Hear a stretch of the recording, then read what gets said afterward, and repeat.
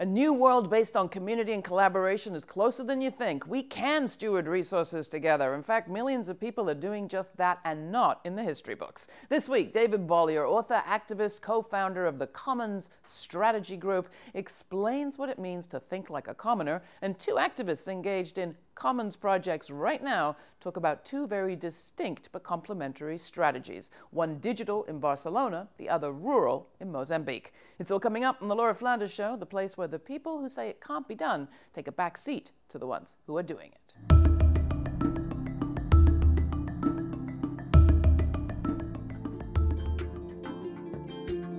Today we heard from David Bollier, who's with um, the Schumacher Institute and he was talking about the commons. It was a really fascinating conversation about um, the way that we understand markets and people's relationship to um, economic transactions. And Bollier made a whole bunch of different points, but I think one of the most important is talking about the very strange way in which modern economists think about economic transactions, like I buy this from you, as devoid of uh, connection, humanity, um, uh, somebody brought up spirituality, that in fact, market transactions have always also engaged us as whole people.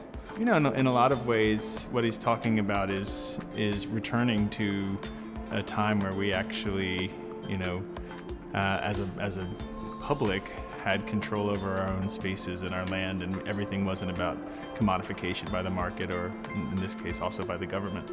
Maybe what's actually most inspiring is the feeling of then thinking of my own city, Kingston, and how how much we're touching on all this. We're not we haven't really thought about that word yet. We maybe haven't figured out the uh, the economic structure, but we're we're tapping into the things about land use, about our how we use food and food access, um, even just little things with uh, how we exchange, right? Uh, and how we exchange services. Like we're we're tapping into all these things that are very much relevant. This area, Hudson Valley, I think is very much relevant for this discussion.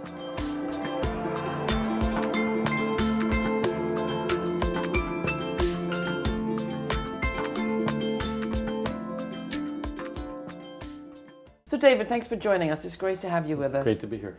The first time I said the word commons, that I was going to be talking to you about the commons, uh, a friend of mine said, Isn't that old ancient history. You've heard that before. I've heard it all the time. Uh, people think it's either associated with a, a, strip mall, the such and such commons, or English history. In fact, it's a very contemporary phenomenon, and I would even go further. It's part of human history. We've always been cooperators. It's uh, what we're hardwired to do. The whole idea of Homo economicus, that we're utility maximizing, selfish, uh, materialistic creatures, is an aberration in history. And uh, what, what's happening is I think we're rediscovering a lot of these mm. roots of humanity, uh, partly through the internet, which has encouraged and facilitated sharing and collaboration and shown how artificial property rights are. Uh, so it's opening up a new exploration of both the economy as well as our inner lives. So, but what about the tragedy of the commons? I mean, if you went to if you went through an through an economics course any time in the last 40 years, you would have heard about the tragedy of the commons. Well, this is kind of a, both a fable and a smear of collective action by a famous biologist of the late 60s, Garrett Hardin, who wrote an essay by that title, The Tragedy of the Commons. And he said, imagine you have a pasture where you can put any number of cattle or sheep on. It will result in the overgrazing and ruination of the uh, commons, and it'll be a tragedy. Uh, really what he was describing was more akin to the tragedy of the market, where there's no community, no rules, no punishment for violators. Uh, a commons is a managed system where a social community gets together and says, we're going to manage this resource uh, sustainably for the future. And in fact, empirically, uh, that happens mm. all around the world throughout history. We've had Peter Linebaugh on the show, the historian of the commons, and he talks about commoning as a verb. In fact, he says you can't have commons without commoning, that it's an active engagement of people. Well, this is one reason why economists like to ignore it, because how do you put uh, activities and practices into a spreadsheet? Uh, they like precise quantitative mathematical models and predictions. They don't like to acknowledge that the economy is socially embedded, that we actually have a role in co-creating the economy. And the commons is about uh, giving a vehicle and mechanisms and governance for managing our own economy, not to meet maximum profit or financial speculation, but to meet, meet everyday hmm. needs. Mm. And that too is not is somewhat seen as beneath the uh, grand aspirations of economics. So you talk about self-provisioning. Um, is that, how is that different from subsistence, or is it? Well, subsistence is often portrayed by the mainstream as bare survival or scraping by or extreme poverty. What it really means is meeting needs for households, which is the original notion of economics in the Greek, oikos, the household, as opposed to these derivative versions of corporations or international finance. Let's talk about meeting the needs of households. Yeah. And so the Commons is focused on that which is a very different kettle of fish than what most economists like to think and, and talk about. But today, when the markets are not meeting basic needs and there's abject poverty, precariousness, and so on, that's what we should be talking about. And by mutualizing resource use, we're able to cut costs and to allow greater participation as well as, interestingly, more responsibility. So it's not just entitlements, give me, give me. It's like people can step up and play a role in stewarding the resources they depend upon. So give us some examples.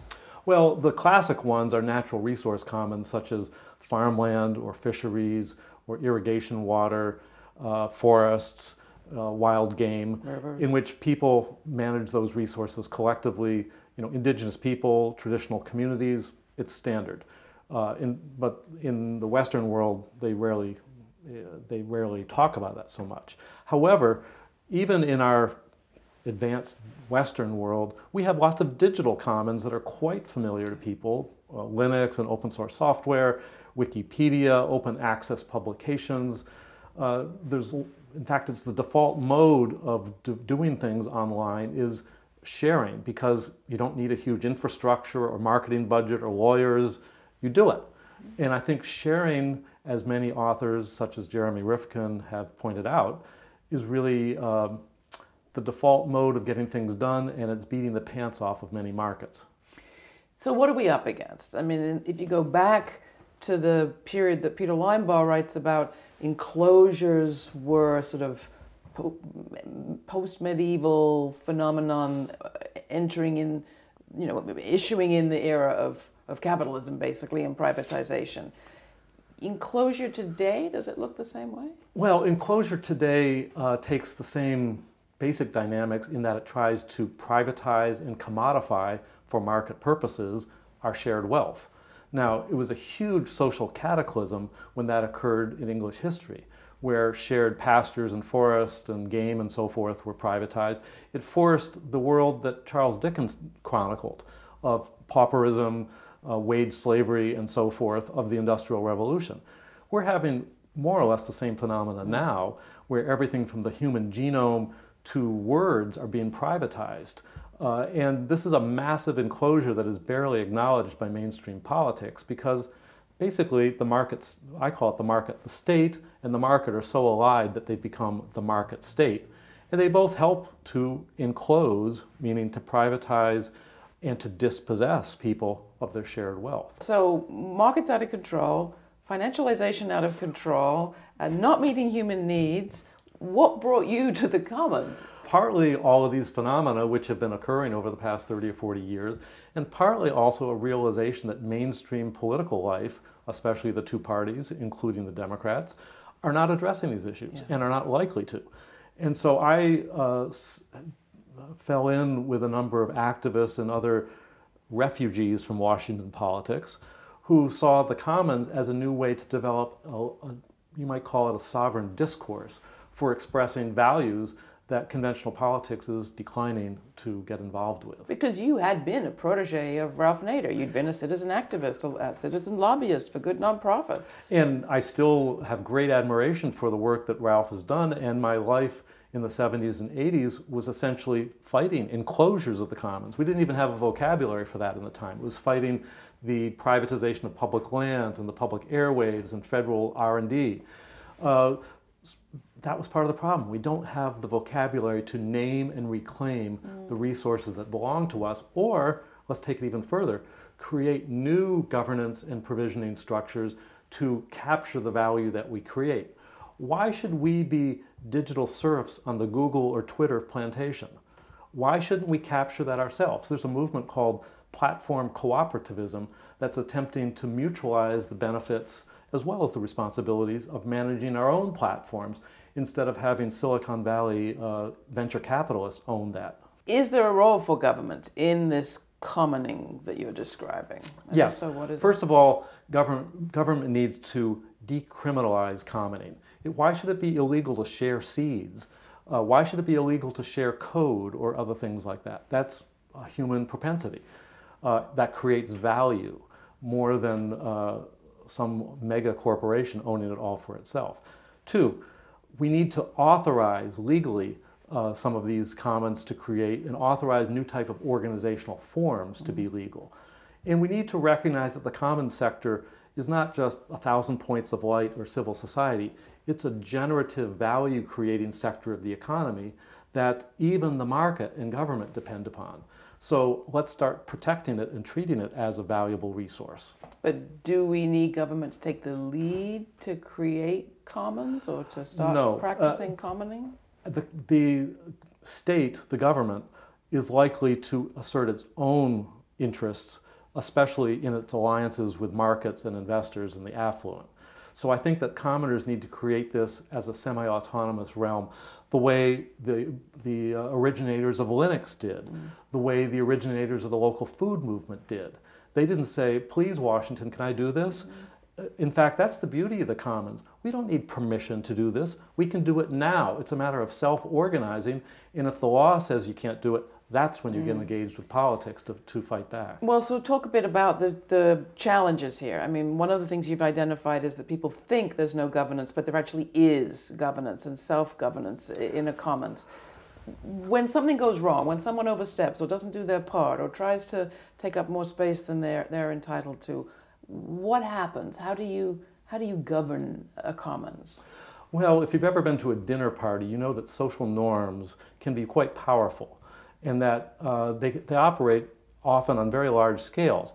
Wikipedia, which consists of many different languages, has more than 100,000 participants as editors or contributors. And yet they've devised a governance structure, not always perfect, not a magic bullet, but a, a very functional system.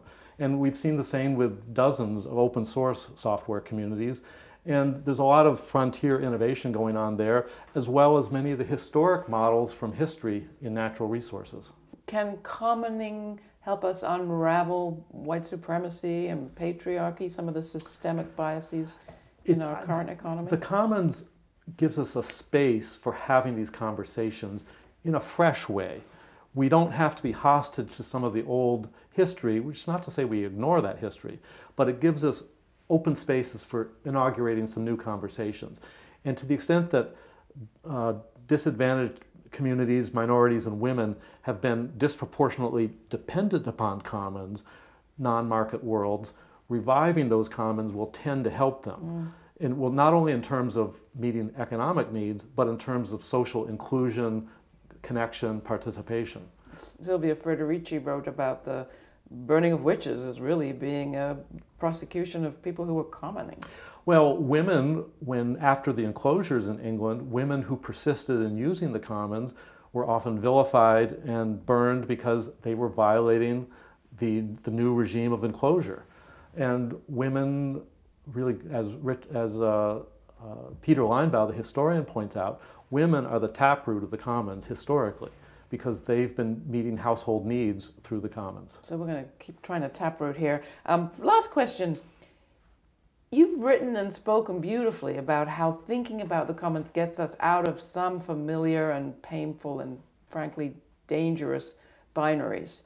Um, talk about that a little bit and how it's changed, this work has changed perhaps your attitude to the, your understanding of the relationship of the individual to the society and all of our relationship to value? Well, conventional politics and market transactions regard the public and the private as entirely separate. And we deal in an impersonal way with the public realm. But once we start to realize that uh, as in the commons, things are relational and not simply transactional, we start to say, you know what, our inner landscape matters as well too. Because if we're talking about relationships, our inner landscape matters. So let's not just talk about white papers and policy and, and law decisions, important as those are. Let's talk about how our culture and social practices and relationships and attitudes towards each other need to be part of this discussion. Mm-hmm. And from that, we can start to originate other types of law instead of simply thinking with our heads and not as much with our hearts. You had a beautiful term, nested I. Well, people sometimes think that the I, the, the self and the collective are different and at odds with each other.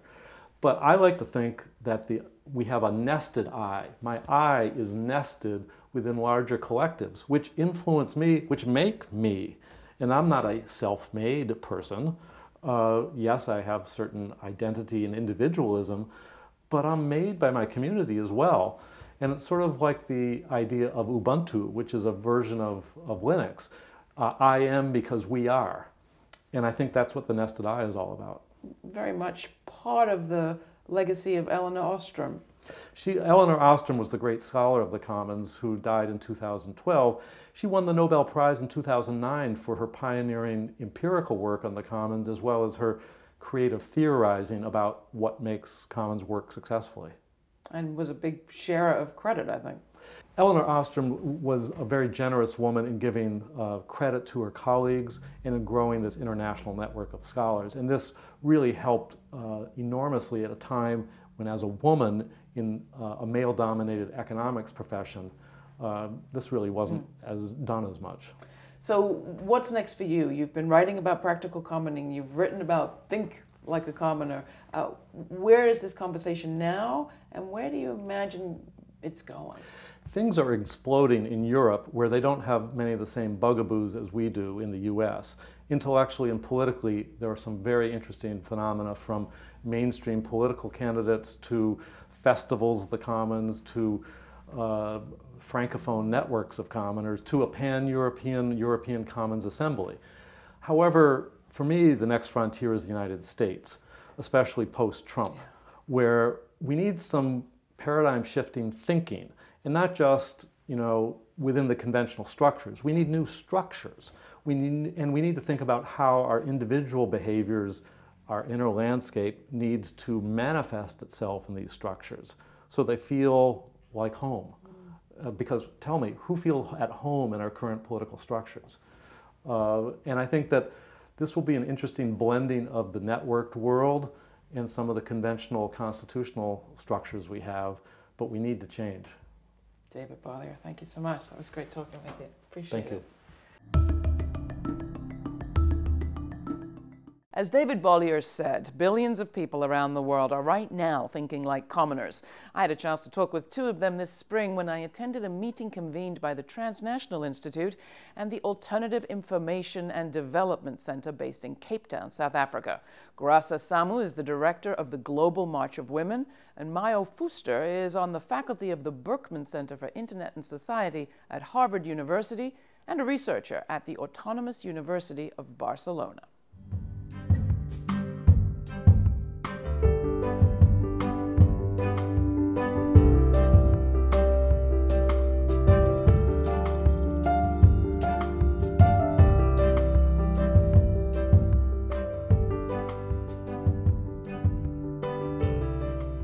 Most of the women that I engage with, they are involved in agriculture and they organize their lives from the, you know, the, their relationship with nature, their pos the possibility of them to produce the food they have, they want to eat, and to produce uh, the other means of living which they need.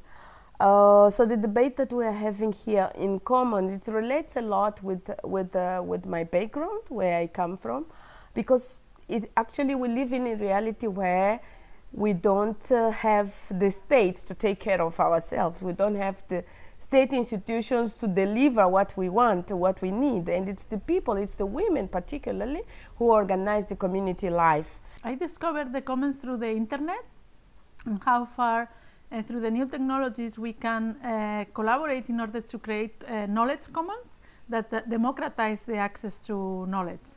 But then I jump, I jump into the urban commons because I think the technology is also uh, shaping the conditions of possibility of both the enclosement of the commons or actually the rising of the commons in the, uh, at the city level. When we talk about production, is that okay, I can produce what I need, but it's not enough because I don't, even if I say that I can produce vegetables, I can produce cassava, I can produce potatoes, there are things which I may not produce. So there are other women who will be producing other things. Women do it in rural areas in a communal way.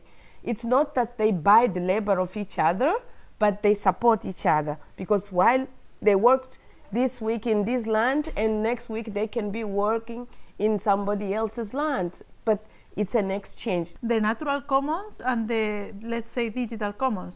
For me, the core elements of both cases or any typology of uh, uh, commons is on the one hand, there are, as um, uh, Gracia has said, uh, on the one hand, there is a community of people self-organized mm -hmm. in order to uh, uh, collaboratively produce a resource. Mm -hmm. And, and they govern the process and they collectively own the process. This is the first characteristic that is based uh, principle of the commons. It's very much important to look at what what do we understand as development. I think everything starts from there because uh, we fail uh, to think what can be common because we fail to define development on the right way.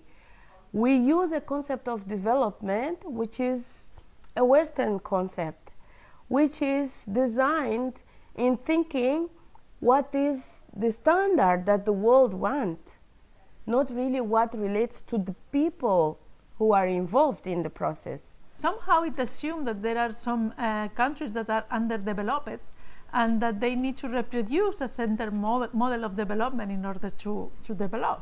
And th the commons actually bring a, a, totally different picture because the commons, uh, uh, who, actually were a pre-capitalistic form, are much more developed in the uh, uh, south, global south.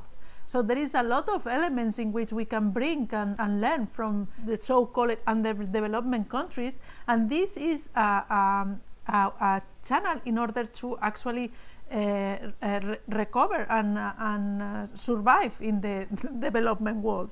The commons provide a way in which to create uh, interconnections between three main problems in the current development system. The first one is the, the, the, the, the excessive uh, productiveness and exploitation of, uh, of uh, people conditions, and so a more collaborative and, and, and more human uh, uh, relations around creating and working together. The second one, it has to do with putting um, uh, life and environmental in the center, a, a model much more environmentally uh, friendly and, and recognition of uh, nature, and also putting life in the center, uh, referring to putting the, the needs of people in the center, not the profit. And in this way, we would solve the, the social dimension, the environmental dimension, and the uh, uh, gender and exclusion diversity a dimension through uh, the framework of the commons is what is a key that interconnect the three of them. Even when we talk about the cities, or for instance, the the rural areas or the villages, even in that same context, we still have inequalities, and we need to acknowledge these inequalities. If you live in the city, it doesn't mean that you are living all in the same standards. You are living and benefiting from a life of commonalities. We are living uh, different levels, different standards, lots of uh, uh, exploitation. And in this, I want always to highlight the fact that there is too much invisibility of women's contribution, women's participation, and women's care work which is very important to bring into the center of all the debate. And this relates to the nature, relates to, the, to, to these commons as, as a whole.